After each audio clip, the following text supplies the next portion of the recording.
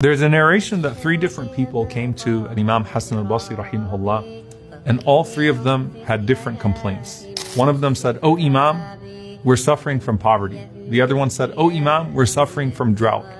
The other one said, Oh Imam, we're trying to have children.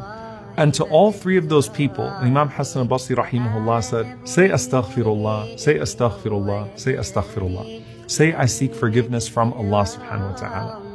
And when his students asked him, why is it that you said to all three people, say astaghfirullah?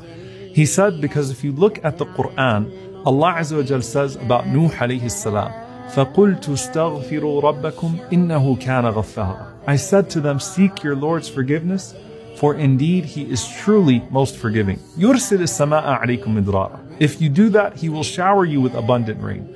وَيُمْدِدُكُمْ بِأَمْوَالٍ وَبَنِينَ He will supply you with wealth and with children.